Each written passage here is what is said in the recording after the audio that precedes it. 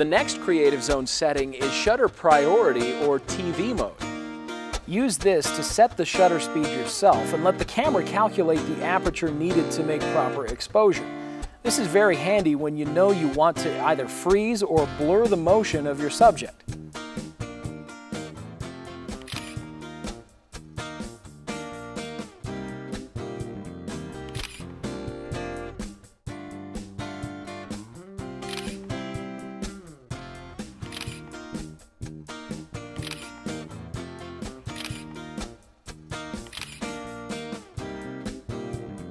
To use this setting, set the mode dial to TV and press the shutter halfway down. Turn the main dial to select a shutter speed as you watch the viewfinder or LCD readout. Press the shutter to take the picture.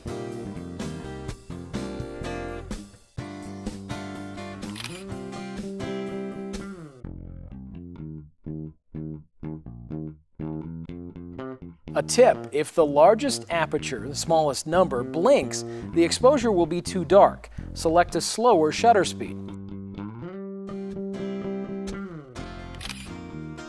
Similarly, if the smallest aperture setting blinks, the exposure will be too light. Select a faster shutter speed.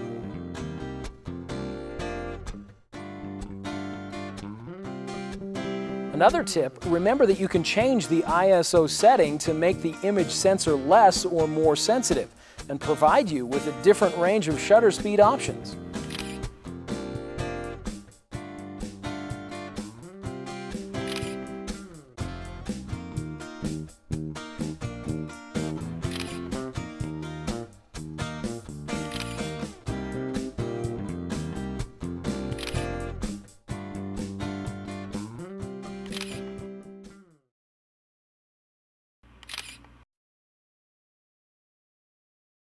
The next Creative Zone setting is Aperture Priority or AV mode.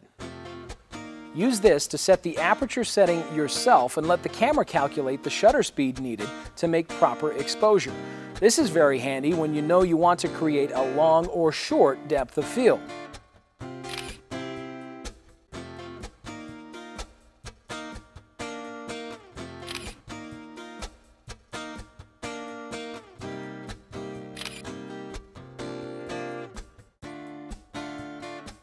To use this setting, set the mode dial to AV and press the shutter halfway down.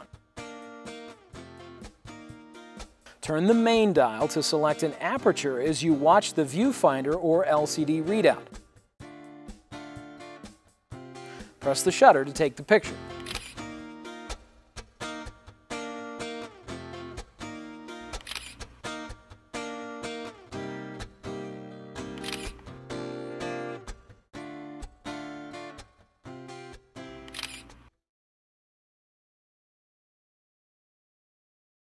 A tip, if the 30, 30 second shutter speed indicator blinks, the exposure will be too dark. Select a larger aperture. Similarly, if the 4000 shutter speed indicator blinks, the exposure will be too light. Select a smaller aperture. Again, remember that you can change the ISO setting to make the image sensor less or more sensitive and provide you with a different range of options.